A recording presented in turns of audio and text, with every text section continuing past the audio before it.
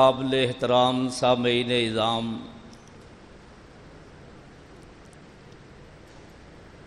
نبی مکرم صلی اللہ علیہ وآلہ وسلم کو کچھ اشارات کے ذریعہ یہ اطلاع مل رہی تھی کہ میرا شریعت کی تبلیغ کا مشن مکمل ہونے والا ہے اور اب میں دنیا میں نہیں رہوں گا۔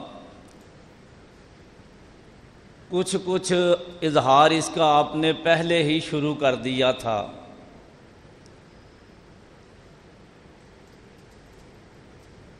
آپ نے حجت الوداع کیا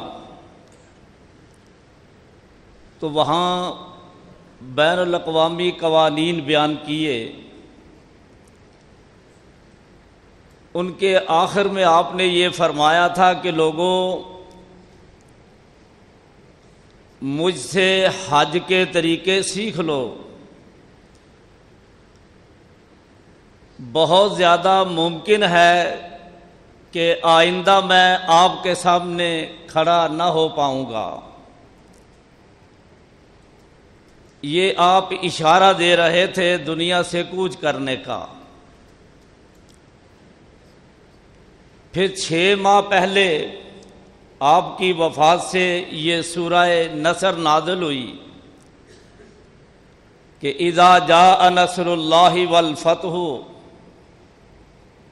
کہ اللہ کی مدد آ چکی اور مکہ فتح ہو چکا۔ ورا عی تناسا ید خلونا فی دین اللہ افواجا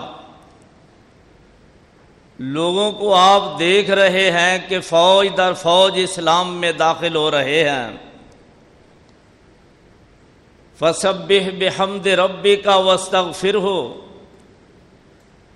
اب اس کے سلا میں اپنے رب کی تسبیحات اور تحمیدات کہو۔ اور کثرت سے استغفار کرو۔ حدیث شریف میں آتا ہے کہ پیارے نبی صلی اللہ علیہ وسلم ایک ایک مجلس میں اس آیا مبارکہ کے نازل ہونے کے بعد ستر ستر سو سو دفعہ استغفار کیا کرتے تھے۔ فاروق اعظم رضی اللہ عنہ نے سیدنا عبداللہ بن عباس رضی اللہ عنہما انہیں اپنی کبینہ میں لیا ہوا تھا۔ بعض بزرگ قسم کے لوگ یہ اعتراض کرتے تھے کہ ہمارا بیٹا ہمارے پوتے اس عمر کے ہیں جو آپ نے اے فاروق اعظم رضی اللہ عنہ اپنی کبینہ میں اس نوجوان کو لے لیا ہے۔ وہ کہنے لگے کہ میں ابھی تمہیں بتاتا ہوں کہ میں کیوں کبینہ میں اسے لیا ہوا ہے۔ فرمایا، یہ سورہ نصر بتاؤ کیسے نازل ہوئی ہے؟ کہنے لگے جی اس میں اطلاع ہے کہ مکہ فتح ہو چکا ہے۔ لوگ دین میں داخل ہو رہے ہیں۔ اور پیارے نبی صلی اللہ علیہ وسلم کو یہ تسبیح کرنے کا حکم ہے کہ مشن کی تکمیل کے بعد اللہ کی تسبیح بیان کرو۔ کہنے لگے، ابن عباس رضی اللہ عنہما، آپ کا کیا خیال ہے؟ کہنے لگے، ہوا اجل و رسول اللہ صلی اللہ علیہ وسلم. اے امیر المومرین یہ رسول اکرم صلی اللہ علیہ وسلم کی وفات کی اطلاع ہے۔ فاروق اعظم رضی اللہ عنہ کہنے لگے کہ میری ساری کبینہ سن لے۔ جو اس نوجوان کی تفسیر ہے، وہی میری تفسیر ہے، یہ ٹھیک کہہ رہے ہیں۔ تو اس سے میرے متعلقہ یہ بات واضح ہوئی۔ ایک تو عبداللہ بن عباس رضی اللہ عنہما کا علم بہت زیادہ تھا۔ دوسرا یہ کہ یہ آیت بھی رسول اکرم صلی اللہ علیہ وسلم کی وفات کی اطلاع دے رہی ہے۔ پھر تقریباً اپنی وفات سے اسی دن پہلے پیارے نبی صلی اللہ علیہ وسلم میدان عرفات میں اپنی اونٹنی پہ جلوہ گر ہیں۔ ایک لاکھ چوالیس ہزار کے قریب سامنے مجمع عام بیٹھا ہوا ہے۔ آپ اللہ کی بارگاہ میں میدان عرفات میں گڑ گڑا رہے ہیں۔ یہ منظر بھی کتنا پر تصیر و پر نور ہوگا کہ ساری کائنات کے سید تاجدار اس میدان میں کائنات کے رب کے سامنے سر جگائے آنکھوں سے آنسو بہاتے ہوئے اور ہاتھ اٹھائے ہوئے اسے پکار رہے ہیں۔ آج تک کائنات نے یہ منظر نہیں دیکھا ہوگا، اتنا روحانی منظر اس وقت آج پر جبری اترے۔ فرمایا الوم اکمل تو لکم دین اکم و اتمم تو علیکم نعمتی و رضیت القم الاسلام دینا۔ آج میں نے تمہارے اوپر اپنی نعمت کو کامل کر دیا ہے۔ اور دین اسلام کو میں نے مکمل کر دیا ہے۔ دنیا والوں سن لو، جس دین کو میں پسند کرتا ہوں وہ اسلام ہے۔ اب یہ بھی آپ کی اطلاع، وفات کی اطلاع تھی۔ تو اس طرح آپ مدینہ منورہ میں تشریف لے گئے۔ اب بیماری کا آغاز ہوا۔ آج کل آپ نے دیکھا ہوگا۔ ماہ سفر کے آخر میں لوگ پارکوں میں جاتے ہیں، نہاتے ہیں، غسل کرتے ہیں اور کہتے ہیں جی پیارے نبی صلی اللہ علیہ وسلم، ماہ سفر کے آخر میں صحت یاب ہوئے تھے۔ میرے بھائی، کیسی جہالت ہے جو مسلمان کے دین میں یہ پیدا ہو چکی ہے۔ انتیس سفر تھی ماہ سفر کی، انتیس تاریخ۔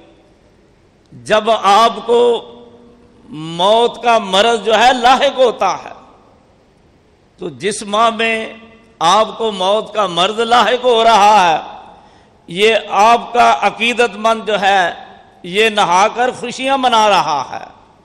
جب اسلام سے دور اڑ جائیں، جب بدعات خرافات میں کھو جائیں، جب اپنے دین کا علم نہ رہے اور جہالت پھر چھا جاتی ہے اور پھر ایسے توہین امید اعمال ہوتے ہیں کہ زمین بھی کانپ جاتی ہے، آسمان بھی رونے لگتا ہے۔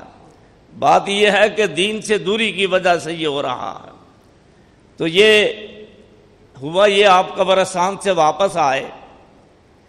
گھر آ کر فرمایا کہ عائشہ میرا سر بہت پھٹ رہا ہے، رضی اللہ۔ یہ پہلا دن تھا بیماری کا۔ اب اس کے دوران پیارے نبی صلی اللہ علیہ وسلم، کچھ اور قریب والی باتیں کرنے لگے۔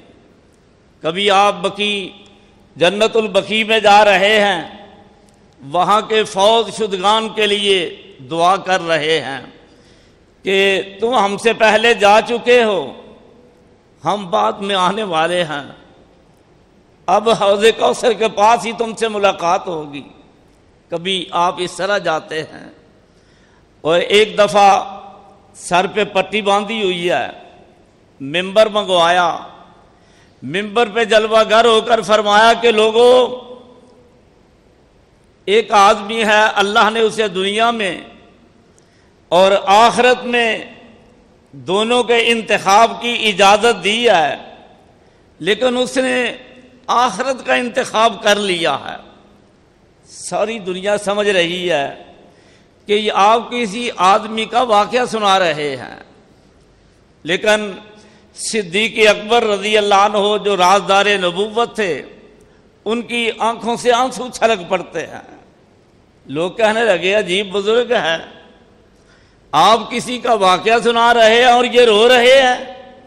لیکن کہنے لگے، جب سید کونین صلی اللہ علیہ وسلم آخری ہدکیاں لے رہے تھے، اس وقت ہمیں پتا چلا کہ صدیق اکبر رضی اللہ عنہ ہم سے زیادہ جانتے ہیں۔ وہ زیادہ دور اندیش تھے۔ وہ گہرائی میں اترنے والے تھے، وہ ٹھیک سمجھے تھے کہ وہ دنیا سے جانے والے آپ ہی تھے۔ اب یہ بھی آپ اشارہ دے رہے ہیں۔ اس کے بعد صحابہ اکرام رضوان اللہ علیہ مجمعین کہتے ہیں، سید کونین اپنے ممبر پہ جلوہ گر نہیں ہو سکے۔ آج یوں سمجھ لیں کہ ساری کائنات کا مقدس ترین ممبر ساری کائنات کی سردار ہستی سے محروم ہو چکا تھا۔ لوگ تھے، بڑے عظیم لوگ تھے، لیکن صدیق تھے۔ اب ممبر پہ بیٹھنے والے نبی نہیں آ رہے۔ آپ گھر تشریف فرما ہیں۔ تو اب نبی کریم صلی اللہ علیہ وسلم کی بیماری بڑھتی جا رہی ہے۔ آپ تقریباً تین چار دن، پانچ دن تک پہلے مسجد میں آتے رہے۔ نو کو آپ بیمار ہوئے۔ تقریباً اس کے بعد چار پانچ دن آپ مسجد میں آتے رہے۔ پیارے نبی صلی اللہ علیہ وسلم آہستہ آہستہ نکاحت بڑھ رہی ہے۔ پوچھا کہ نماز پڑھی ہے کہ نہیں لوگوں نے؟ کہنے لگی حضرت آپ کے منتظر کھڑے ہیں۔ تو پیارے نبی صلی اللہ علیہ وسلم نے فرمایا کہ صدیق اکبر رضی اللہ عنہ سے کہو وہ جماعت کرائیں۔ اما جی عائشہ رضی اللہ عنہ فرماتی ہے، میرے دل میں اور بات تھی کہ اتنی مقدس ہستی، ان کی جگہ میرے ابا کھڑے ہوں گے۔ جو لوگ سمجھے گے یہ منحوس آدمی ہے کہ اتنے بڑے آدمی کے بعد یہ انتظار میں تھا کہ یہ ادھر ہو اور میں اس کے مسلح پہ کھڑا ہوں۔ وجہ یہ تھی۔ لیکن بہانہ یہ لگایا کہ پیارے آقا صلی اللہ علیہ وسلم، میرے بابا بہت ہی نرم دل ہیں۔ جب آپ وہاں موجود نہیں ہوں گے، آپ کو نہ پا کر ان کی ہجکیاں بن جائیں گی، وہ روتے رہیں گے، نماز کیا پڑھائیں گے؟ فروق اعظم رضی اللہ عنہ ذرا مضبوط دل انسان ہیں۔ ان سے کہیں کہ وہ جماعت کرائیں۔ آپ نے فرمایا کہ میں کہہ رہا ہوں کہ جناب صدیق رضی اللہ عنہ سے کہو کہ جماعت کرائیں۔ بلکہ غالباً ابو داود کی ایک روایت ہے، صحیح سند ہے، اس میں آتا ہے کہ فروق اعظم رضی اللہ عنہ نے پڑھا بھی دی، آپ کو اطلاع ہوئی، ظہر کی یا کوئی نماز تھی۔ آپ نے فرمایا، جب میں کہہ رہا تھا کہ میرا صدیق میرے مسلح پہ کھڑا ہو اب نماز کو دوبارہ دہرایا جائے، تم نے میرے حکم کی تعمیل کیوں نہیں کی؟ یعنی اتنی اہمیت جناب صدیق رضی اللہ عنہ کو دی۔ تو اس طرح یہ بالکل بیماری زیادہ ہوتی جا رہی تھی۔ پھر دو تین دفعہ یہ بھی ہوا، آپ نے پانی منگوایا، آپ اٹھنے لگو تو بے ہوش ہو گئے۔ پھر سہارا لے کر، اے وہ نوجوان جو ابھی تک نوازی نہیں بن سکا اللہ نے تجھے صحت دی ہے، کاروبار دیا ہے، بہترین رزق پہن کھاتا ہے، بہترین لباس پہنتا ہے، ہر قسم کی نعمت اللہ کی کھاتا ہے۔ تو نے کبھی یہ سوچا ہے کہ میرا بیمار پیغمبر جسے حکم ہو رہا ہے وعبد رب کا حتیٰ یاتی کل یقین اپنی موت کے دن تک رب کی عبادت کرو۔ وہ اپنے چچا اور اپنے دماد کا سہارا لے کر مسجد نبوی میں پاؤں گسیٹتا ہوا، لکیریں ڈالتا ہوا، وہ اس نقاہت کے باوجود کائنات کے رب کے سامنے عبادت کے لیے حاضر ہو رہا ہے۔ تیرا بھی کبھی سر شرم سے جھکا ہے کہ نہیں؟ اتنی عظیم ہستی اتنا اہتمام کر رہی ہے۔ مجھے اللہ نے سب کچھ دیا ہے اور میں اس کی عبادت سے روگردانی کر رہا ہوں۔ بہت بڑی عبرت ہے۔ تو ایک اس کی دوران ہی میں ذرا ترتیب نہیں رکھی جا سکے گی مجھ سے۔ اہم واقعات اس میں آ جائیں گے اور انشاءاللہ کوشش ہے کہ وقت کے اندر بات ختم کروں۔ اسی دوران آپ نے ایک جب حج سے واپس آئے تو غزیر خم ایک مقام تھا، وہاں آپ نے خطاب کیا۔ فرمایا، لوگوں، تم میں میں دو مرکز چھوڑ کر جا رہا ہوں۔ ایک مرکز ہے قرآن کا۔ دوسرا مرکز ہے میرے اہل بیت۔ بعض لوگ یہاں سے فرقہ وریت کا شکار ہو چکے ہیں۔ وہ کہتے ہیں بس اہل بیت ہی دین ہیں اور یا قرآن دین ہے اور کوئی دین نہیں۔ میرے بھائی، بات یہ نہیں۔ بات یہ ہے کہ آپ ساری کائنات کے محسن تھے اور آپ ایک ایک کی فکر تھی۔ اسی دوران آپ نے ایک دفعہ انصار کو بلایا۔ دیکھا نا کہ ایک دفعہ انصار بیٹھے ہوئے ہیں، بلک بلک کر رو رہے ہیں، کیونکہ آپ کی بیماری سے سب پریشان ہو چکے تھے۔ آپ کو اطلاع ہوئی، حضرت آپ کے جان نثار رو رہے ہیں۔ آپ نے بلایا، آپ نے پھر اعزازات بخشے۔ فرمایا لوگوں یہ انصار میرے رازدان ہیں، یہ میرا جگر ہیں۔ انہیں تکلیف نہ پہنچانا پھر آپ نے اپنی ازواج متحرات جو ہیں انہیں بھی نصیحت کی۔ اس طرح نصیحت کر رہے تھے۔ اس لحاظ سے اب ہم کہیں کہ یہ ازواج متحرات اور یہ انصار ہی سارا دین ہے تو یہ بات غلط ہوگی۔ بات تو یہ ہے کہ ان کا خیال رکھنا۔ کیونکہ جس قدر کوئی دین کا خادم تھا، آپ اسے اعزازات سے نواز رہے تھے۔ اس لیے مقصد یہ تھا کہ آپ ساری کائنات کے محسن تھے۔ فرمایا کہ میرے عزیز و قارب، کم رہ جائیں گے۔ تو کم از کم یہ خیال کرنا، ان پہ ظلم نہ کرنا کہ یہ ہمارے نبی کے اہل بیت ہیں۔ زیادتی نہ کرنا۔ وگرنہ یہ تو متفق علیہ مسئلہ ہے کہ آپ کے اہل بیت میں سے جو بھی ہو، اگر وہ دین سے ادھر ادھر ہٹ جائے تو اس کی بات قابل قبول نہیں۔ تو اس طرح یہ غلط فہمی لوگوں میں پیدا ہوئی۔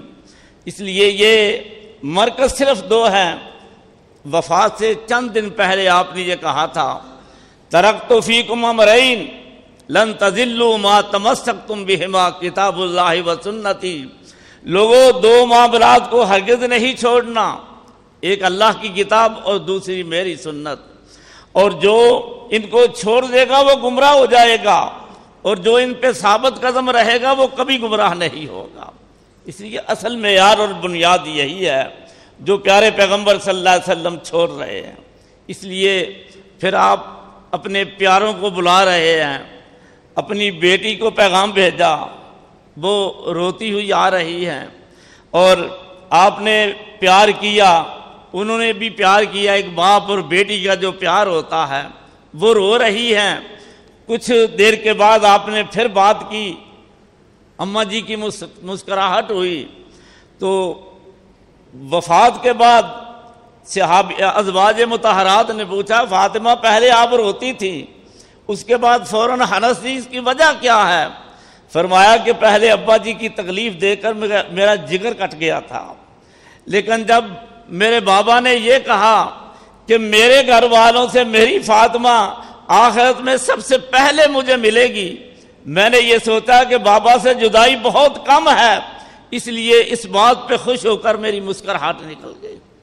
یہ، اور کبھی تکلیف آپ کی دیکھ کر کہہ رہی ہے یا بتا اے میرے ابا جان، آپ کو بہت تکلیف ہے۔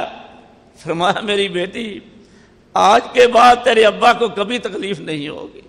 یہ آپ پروگرام سارا دے رہے ہیں، جو جو جہاں ضرورت تھی، اس کے مطابق آپ لوگوں کی ہدایات، رہنمائی کرتے جا رہے ہیں۔ اسی طرح پھر حسنین کو بلایا رضی اللہ عنہما، انہیں اپنے ساتھ لگایا، پیار کیا، کہا، میرے ان بیٹوں کا خیال رکھنا، یہ جنت کے پھول ہیں۔ اس طرح جو جو ضرورت تھی، پھر آپ بیماری بڑھتی جا رہی ہے۔ دو یا تین دن آپ مسجد میں نہیں جا سکے۔ صدیق اکبر رضی اللہ عنہ جماعت کراتے رہے ہیں۔ آخر پیارے نبی صلی اللہ علیہ وسلم اس دوران ایک ہی آواز دے رہے ہیں اوما ہمارے کا تیمان حکم لوگوں، میرے بعد نماز کا خیال رکھنا۔ نماز کا خیال رکھنا، غلاموں کا خیال رکھنا۔ یہ پیارے نبی صلی اللہ علیہ وسلم کہہ رہے ہیں۔ پھر کبھی وسیعت فرما رہے ہیں، عزیز الوفدہ اسی طرح وفد کو تحفہ تحائف دیا کرو، جس طرح مجھے دیکھتے رہے ہو۔ فرمایا مشرقین اور اہل کتاب، انہیں جزیرہ عرب سے باہر نکال دینا۔ پھر پیارے نبی صلی اللہ علیہ وسلم فرماتے ہیں کہ میرے بعد یہ جو کتاب و سنت ہے، اس کے اوپر گامزر رہنا، اسے نہیں چھوڑنا۔ یہ میرے نبی صلی اللہ علیہ وسلم مختلف اوقات میں وسیعتیں کرتے جا رہے ہیں۔ پھر ایک اعلان آپ نے کیا۔ کہ میرا جو بھی ہوگا وہ اللہ کی راہ میں صدقہ ہوگا۔ میں جو بھی چھوڑ کر جاؤں گا، ہمارا وہ اللہ کی راہ میں صدقہ ہوتا ہے، ہماری وراثت نہیں ہوتی۔ اس طرح یہ اعلان آپ فرما رہے ہیں۔ اسی دوران پیارے نبی صلی اللہ علیہ وسلم وفات سے تقریباً تین دن پہلے آپ کافی بیمار ہوئے تو لوگ کہنے لگے کہ آپ کو آپ نے فرمایا کہ کوئی قلم کتاب لاؤ، میں کچھ تحریر کرنا چاہتا ہوں۔ یہ بہت بڑی غلط فہمی دور ہوگی جو میں بات کرنے لگا ہوں۔ تو کچھ کسی نے کچھ کہا، کسی نے کہا لے آتے ہیں۔ فاروق اعظم رضی اللہ عنہ نے کہا کہ کوئی بات نہیں، بیماری غالب ہے۔ تو کتاب قرآن پاک ہمارے پاس موجود ہے۔ اس لیے کتاب وہ لانے کی ضرورت نہیں، آپ بہت پریشانی میں ہیں بیماری میں ہیں تو اس طرح کوئی ہاں کہہ رہا ہے، کوئی نہ کہہ رہا ہے۔ شور و شگب ہوا، آپ نے فرمایا، میرے پاس سے کر چلے جاؤ۔ یہاں ایک منکرین حدیث، وہ یہ بات اٹھاتے ہیں، وہ کہتے ہیں جی فاروق اعظم رضی اللہ عنہ نے کہا، حسبنا کتاب اللہ۔ ہمیں کتاب اللہ کافی ہے، ہمیں کوئی ضرورت نہیں۔ وہ کہتے ہیں، حدیث کی ضرورت نہیں تھی، فاروق اعظم رضی اللہ عنہ کہہ رہے ہیں۔ میرے بھائی، پہلی بات تو یہ ہے کہ یہ فاروق اعظم رضی اللہ عنہ کی رائے تھی۔ ایک آدمی کی رائے ہے کہ ہم نے لکھنا کے لیے کاغذ دینا ہے۔ دوسری رائے یہ ہے کہ نہیں دینا، یہ ایک رائے تھی۔ یہ پیارے نبی صلی اللہ علیہ وسلم کا فرمان کب تھا؟ اور پھر لوگوں نے اس سے اختلاف کیا ہے۔ فاروق اعظم رضی اللہ عنہ خاموش ہو گئے۔ یہ اس بات کی دلیل ہے کہ صرف قرآن کو کافی نہیں سمجھتے تھے۔ بلکہ حدیث کو بھی ساتھ کافی سمجھتے تھے۔ پھر آپ کی زندگی کا عمل، وقت کا میں ایک ایک مثال دیتا جاؤں۔ اب ایک فیصلہ آیا فاروق اعظم رضی اللہ عنہ کے ساتھ۔ فرمایا کہ یہ فیصلہ، چونکہ حدیث شریف میں یہ آیا ہے کہ اللہ نے ہمیں کہا رجم کرو، پیارے نبی صلی اللہ علیہ وسلم نے رجم کیا اور ہم بھی رجم کر رہے ہیں۔ لہذا آنے والا کو یہ نہ کہے کہ قرآن میں رجم کا ذکر نہیں، لہذا رجم ہے ہی نہیں۔ یہ بالکل حدیث کے مطابق عمل کر رہے ہیں۔ اس لیے عام زندگی میں حدیث کا بڑا تحفظ کیا ہے۔ ہر موقع پہ یعنی میرے علم میں کوئی دس، بارہ مواقع ہیں، جن میں آتا ہے کہ فاروق اعظم رضی اللہ عنہ حدیث کو حجت لے رہے ہیں۔ اس لیے یہ معنی بالکل غلط ہے۔ وہ حجت سمجھتے تھے، اس کا مقصد اصل میں یہ نکلتا ہے کہ فاروق اعظم رضی اللہ عنہ اپنی اس رائے کی غلطی کو تسلیم کر چکے تھے۔ اور صحیح مقصد یہ ہے کہ آپ کی ساری زندگی ہمارے سامنے ہے۔ اور قرآن دین کی کوئی ایسی بات نہیں جو اس نے چھوڑی ہو۔ اس لیے قرآن جو کہہ رہا ہے آپ کے عمل کی صورت میں ہم اس پر چلتے جائیں گے، یہ ہمارے لیے کافی ہے۔ اب نیا لکھوانے کی ضرورت نہیں۔ اس سے آسان تر، عام فہم بات یہ ہے۔ میرے پیارے پیغمبر صلی اللہ علیہ وسلم، اس کے بعد دو دن باقاعدہ درمیان میں زندہ رہے اور ہوش میں رہے۔ تیسرے دن آپ کی وفات ہوئی ہے۔ میرے بھائی، اگر ضروری ہوتا تو پیارے نبی صلی اللہ علیہ وسلم اسے لکھوا دیتے، ضروری ہوتا تو ضرور لکھواتے۔ کسی کی بات نہ مان۔ ایک اور فرقہ ہے، وہ کہتا ہے جی سیدنا علی بن ابی طالب رضی اللہ عنہ، ان کے نام خلافت لکھنی تھی۔ حالانکہ اگر میں مانتا ہوں یہی لکھنا تھا، تو پیارے نبی صلی اللہ علیہ وسلم باہوش و حواس زندہ رہے ہیں۔ اگر یہ لکھنا تھا ضروری تھا، تو دنیا کی کوئی طاقت آپ کو روک نہیں سکتی تھی۔ جو نہ لکھنا، بلکہ اس کے الٹ آپ نے کہا۔ آپ نے فرمایا، ایک دفعہ فرمایا، لاؤ میں کچھ لکھ دوں۔ پھر فرمایا، نہیں، میرا اللہ بھی انکار کرتا ہے۔ میرا میں بھی انکار کرتا ہوں اور یہ ایماندار بھی انکار کریں گے اللہ ابا بکرن، میرے بعد یہ ابو بکر رضی اللہ عنہ کو ہی اپنائیں گے۔ اور جب آپ کو خلیفہ بنایا گیا، یہ دلیل پیش کی گئی تھی کہ حضرت ابو بکر رضی اللہ عنہ سے کہا، فاروق اعظم رضی اللہ عنہ نے، تلوار لیں اور میری گردن پر چڑھائیں، میری گردن اڑا دیں، میں یہ تو برداشت کر سکتا ہوں۔ آپ کی موجودگی میں میں خلیفہ بنوں، یہ میں برداشت نہیں کر سکتا۔ بات یہ ہے کہ جب نبی کریم صلی اللہ علیہ وسلم نے یہ عبادت کی جو گدی ہے، اس پہ آپ کو براجمان کیا ہے۔ ہم اسی کی روشنی میں آپ کو اپنا خلیفہ تسلیم کر رہے ہیں۔ اس لیے یہ دو غلط فہمیاں تھی میں دور کرنا چاہتا تو بات یہ ہے کہ پیارے نبی صلی اللہ علیہ وسلم، اس کے بعد آہستہ آہستہ نقاہت بڑھتی جا رہی ہے۔ جس دن آپ کی وفات ہوئی، سوموار کا دن تھا۔ دیکھیے، میرے رب کے یہ فیصلے ہیں۔ آج جب آپ کی ولادت ہو رہی ہے مکہ مکرمہ میں، وہ بھی ماہ ربی تھا۔ لیکن لوگ خوش ہو رہے تھے۔ اور اس وقت ان کی خوشی کی انتہا نہیں رہی جو مومن تھے۔ جب آپ پر وہی نازل ہو رہی ہے اور آپ لوگوں تک پہنچا رہے ہیں۔ تو وہی آپ کی وفات کا دن ہے، ماہر بھی الاولی اس دن دنیا خوشحال ہے، ترقی کر رہی ہے، خوشیاں منا رہی ہے۔ اور مسرتیں موجود ہیں، لیکن آج حضرت انس رضی اللہ عنہ فرماتے ہیں، آپ کی وفات کے دن آج تک مدینہ اتنا کبھی تاریخ نظر نہیں آیا جو اس دن تاریخ نظر آ رہا۔ ہے، یہ بھی ربیع الاول، لیکن یہ مدینے کو تاریخی میں ڈوب کر رکھ دیتا ہے۔ اور ہے، وہ بھی ماہ ربیع الاول جب آپ دنیا میں تشریف لاتے ہیں، لیکن وہاں مسرتیں اور خوشیوں سے دامن بھر دیتا ہے۔ یہ اللہ کا فیصلہ ہے۔ آخر کار یہ بارہ ربیع الاول تھا، فجر کی نماز کے قریب۔ پیارے نبی صلی اللہ علیہ وسلم، چونکہ حجرہ عائشہ میں تھے رضی اللہ عنہ تو فجر کی نماز مسجد نبی کھچا بھری ہوئی ہے۔ آپ نے پردہ ادھر کیا، زیر رب مسکرائے۔ ایک صحابی رضی اللہ عنہ کہتے، ہم تو فتنہ میں پڑھنے لگے تھے۔ وہ فتنہ یہ تھا کہ آج دو تین دن اس رخ تابوں کو دیکھے ہوئے ہو چکے تھے۔ جب آپ نے دیکھا جس کی نظر پڑی، وہ چاہتا تھا میں نماز چھوڑ دوں، پیارے نبی کو تو۔ صدیق اکبر رضی اللہ عنہ جماعت کرا رہے تھے۔ انہوں نے چاہا کہ میں ذرا پیچھے ہٹ جاتا ہوں، میرے آقا آنا چاہتے ہیں۔ لیکن پردہ ادھر کر کے اشارہ اس طرح کیا۔ آج مسکراہٹ یہ تھی کہ میرے اللہ، میں کوہ صفا پہ اکیلا ہی کھڑا تھا۔ میں بڑی تکلیفیں برداشت کی۔ آخر کار آج یہ تیرا دین پھل پھول چکا ہے، پورا جزیرہ عرب دی، وہاں دین کا جھنڈا لہرا رہا ہے۔ اور اتنی کثرت سے لوگ تیری عبادت میں مصروف ہیں۔ میرے اللہ، تیرے فضل و کرم سے میرا مشن کامیاب ہے۔ اس لیے آپ مسکراہٹ سے گئے۔ مسلمان، وہ میرے پیارے نبی صلی اللہ علیہ وسلم دنیا سے جا رہے تھے۔ تو ان لوگوں سے خوش ہو کر جا رہے تھے۔ عبادت گزار توحید والے۔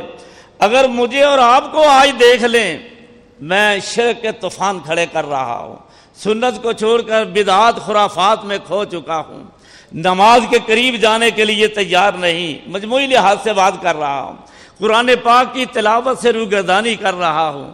کبھی میں نے غور کیا ہے، کبھی اپنے دین سے رخ پھیرنے والے کبھی غور کر لے۔ صحابہ اکرام میں یہ کامیابی تھی جو آپ نے شجر سایہ دار تیار کیا تھا، اسے دیکھ کر آپ خوش ہو رہے ہیں۔ مجھے اور آپ کو اگر آپ آج دیکھ لیتے تو کیا کہتے، کس قدر پریشان ہوتے۔ اس لیے آئیے، آج فوت ہونے والے اپنے اس پیغمبر کو راضی کرنے کا یہ طریقہ ہے۔ جس طریقے پہ صحابہ اکرام کو چھوڑ کر آپ گئے اور دنیا سے خوش گئے، ہم بھی وہی طریقہ اپنائیں تو پھر کامیابی ہو جائے گی انشاءاللہ۔ روز قیامت آپ بہت خوش ہوں گے۔ اور جب آپ خوش ہوں گے تو آپ کے ساتھ جنت میں جگہ بھی مل جائے گی۔ اس لیے یہ پیارے نبی صلی اللہ علیہ وسلم، اس کے بعد پھر لوگوں نے نماز پڑھی۔ جب چاشت کا وقت ہوا تو آپ وفات پا چکے ہیں۔ اس کے بعد مختصر یہ ہے کہ بہت بڑا آج بھی بعض دوست گستاخی سمجھتے ہیں۔ بلکہ بہت برا سمجھتے ہیں، اعتراض کرتے ہیں، کہے نا کہ نبی پاک وفات پا چکے ہیں، تو بڑے پریشان سیکھ پا ہوتے ہیں۔ میرے بھائی، یہ ایک دو چار آدمی کا فیصلہ نہیں۔ ہمیں، میں کبھی کبھی غور کرتا ہوں، ہمارا کوئی عزیز، پیارا دوست، اچھے اخلاق والا، ملنے والا جب دنیا سے چلے جائے تو سو سال بھی زندگی ملے، وہ کبھی بھولتا نہیں۔ لوگوں اس شخصیت کا اندازہ تو لگاؤ جس کے ہاتھ نے ہمیشہ غیرت سے سر ڈانپے ہیں اور جس کے ہاتھ پہ ہاتھ رکھ کر جنت کے در کھلتے ہیں اور بول بولے تو بہت ہی پیارے حسن اخلاق والے قدم اٹھائے تو ایسے کہ گرد راہ کو بھی تکلیف نہ ہو اور ساری کائنات میں اسلام کا نظام نافذ کیا اور صحابہ کرام رضوان اللہ علیہ مجمعین کہتے تھے ہم گھر ہوتے بے چینی، بے قراری ہمارے دل میں آتی۔ سید کونین صلی اللہ علیہ وسلم کے رخ طابہ کی طرف دیکھ لیتے، ہمیں سکون آ جاتا۔ تھا اب اتنی قیمتی چیز، شخصیت، اور جہاں جمال آ رہا، ان سے رخصت ہو رہا تھا۔ ان کے کیوں نہ کلیجے کرتے؟ مولانا آزاد نے ٹھیک کہا ہے۔ جو بیٹھا تھا، بیٹھا ہی رہ گیا۔ ان کے کلیجے کٹ گئے۔ کوئی جنگل کی طرف بھاگ رہا ہے۔ مسجد نبوی مسجد نبوی جو ہے قیامت سے پہلے قیامت سبرا کا نقشہ پیش کر رہی تھی۔ یہ چند الفاظ میں کمال نقشہ کھینچ دیا۔ یہ کیفیت تھی۔ فاروق اعظم رضی اللہ عنہ کہنے لگے، جو کہے گا، آپ فوت ہو چکے ہیں، میں گردن اڑا دوں گا۔ صدیق اکبر رضی اللہ عنہ آئے۔ سر عام ایک اعلان کرتے ہیں، وما محمد اللہ رسول، قد حلت من قبل رسول افا اماتا او قتلن قلبتم على اعقابكم ومن قرب على عقبيه فلن يضر الله شيئا فرمایا جو آج پھر جائے گا اللہ کو کوئی نقصان نہیں اور محمد رسول اللہ صلی اللہ علیہ وسلم وفات پا چکے ہیں من کان یعبد اللہ فن اللہ حج اللہ یمود جو اللہ کی عبادت کرتا ہے اللہ ہمیشہ زندہ ہے کبھی فوت نہیں ہوگا اور جو محمد صلی اللہ علیہ وسلم کی پرستش کرتا ہے، عبادت کرتا ہے، اب یہ ساری دنیا سن لے کہ آپ وفات پا چکے سب کو پہلے ہی اتفاق تھا۔ ان کی تو ٹانگیں ٹوٹ گئی تھی۔ ایک فاروق اعظم رضی اللہ عنہ کو اختلاف تھا کہ ابھی آپ فوت نہیں ہوئے۔ ان آیات کو سن کر تلوار زمین پر گرتی ہے، وہیں بیٹھ جاتے ہیں۔ کہنے لگے، صدیق رضی اللہ عنہ، اللہ آپ کا بھلا کرے۔ یہ آیتیں میدان عہد میں نازل ہوئی ہیں، لیکن ان کی سمجھ مجھے آج آ رہی ہے۔ جو انہیں اختلاف تھا، وہ بھی ختم ہو۔ اب پوری امت جو وہاں موجود تھی، سب کا اتفاق ہے کہ آپ وفات پا چکے ہیں۔ لیکن عام لوگوں کی طرح آپ نے فرمایا تھا کہ میرا گھوڑا، میرے آپ نے وفات سے دو دن پہلے سارے تیس، چالیس غلام تھے، سب آزاد کر دیے۔ اور جانور وغیرہ بھی سب۔ اور اسی لیے سیدہ فاطمہ رضی اللہ عنہ جب اپنے حصے کے لیے جناب صدیق رضی اللہ عنہ ان کے پاس گئے، پھر فاروق اعظم رضی اللہ عنہ ان کے دور میں ان کے پاس گئی حضرت علی رضی اللہ عنہ۔ تو کیونکہ حضرت سجدہ تو فوت ہو گئی تھی چھ ماہ بعد، لیکن فاروق صدیق اکبر رضی اللہ عنہ نے وہی آپ کی حدیث سنائی۔ آپ نے فرمایا، میری وراثت نہیں۔ جب علی بن ابی طالب رضی اللہ عنہ، یہ معاملہ فاروق اعظم رضی اللہ عنہ کے پاس لے کر گئے۔ انہوں نے بھی یہی حدیث حجت کے طور پر پیش کری۔ کہتے ہیں حدیث نہیں مانتے تھے۔ حدیث حجت کے طور پر پیش کی کہ میرے آقا صلی اللہ علیہ وسلم کا جو فرمان ہے، میں اسی پہ عمل کروں گا۔ ایک ذرہ برابر بھی میں اس سے سر منہ انحراف نہیں کر سکتا۔ تو اس طرح پیارے نبی صلی اللہ علیہ وسلم، اب غسل کا معاملہ تھا۔ آپ کو غسل دینے کے لیے ایک انصاری تھے، انہوں نے آپ کو سینے کے ساتھ لگا۔ میں اپنے تصورات میں سوچ رہا تھا، انصاری، تو کس قدر بہترین درجے والا ہے، تو کتنا خوش قسمت ہے۔ اتنی بڑی ہنسی سینے سے لگا کر بیٹھا ہے۔ سید علی بن نبی طالب رضی اللہ عنہ پانی ڈال رہے ہیں۔ فضل اور قسم دو بھائی، حضرت عباس کے بیٹے، یہ آپ کو غسل دے رہے ہیں۔ اس طرح غسل دیا۔ یہی لوگ پھر اسامہ مل کر سارے قبر میں اترتے ہیں۔ آپ کو تین چادروں میں کفن دیا گیا اور اب کچھ اختلاف ہوا کہ آپ کو دفن کہاں کیا جائے۔ ایک صحابی رضی اللہ عنہ، جناب صدیق رضی اللہ عنہ نے حدیث سنائی کہ پیارے نبی صلی اللہ علیہ وسلم خود فرمایا کرتے تھے کہ اللہ نبی کو فوت ہی وہیں وہاں کرتا ہے جہاں اس نے دفن ہونا ہوتا ہے۔ اس کے مطابق پھر سیدہ عائشہ رضی اللہ عنہ کے گھر بغلی قبر بنا کر حضرت ابو طلحہ نے کھودی تھی، وہاں آپ کو دفن کیا گیا۔ سوموار آپ کی وفات حضرت آیات ہوئی۔ منگل کا دن بھی نماز پڑھتے ہوئے گزر گیا۔ اور پہلے بچوں نے یہاں ایک غلط فہمی ڈالی جاتی ہے جی نبی پاک کا جنازہ عام جنازے کی طرح نہیں ہوا۔ میرے بھائی، جس قرآن کو آپ پہنچاتے رہے ہیں، وہ تو پہلے ہی آپ کو یہ ڈگری دے رہا ہے۔ لیکفر اللہ ما تقدم من ذنبک کا وہ ماتا اخر کہ آپ کے گناہ تو اللہ نے زندگی ہی میں معاف کر دیے تھے۔ نماز جنازہ ہوتی ہے، دعا، مغفرت کے لیے۔ تو آپ کا تو پہلے ہی اعلان ہو چکا تھا۔ اس لیے یہ کوئی پریشانی والی بات نہیں۔ وہ لینا چاہتے ہیں کہ آپ زندہ تھے۔ اگر زندہ تھے پھر غسل کیوں دیا؟ پھر زیر زمین کا دفن کیوں کیا گیا؟ ایسی کوئی بات نہیں۔ اب زندگی ہے آپ کی، لیکن وہ برزخ کی زندگی ہے، قبر کی زندگی ہے۔ وہ اللہ جانتا ہے یا آپ صلی اللہ علیہ وسلم جانتے ہیں؟ دنیا والی زندگی سے بالکل ان کا میتم و ان میتون۔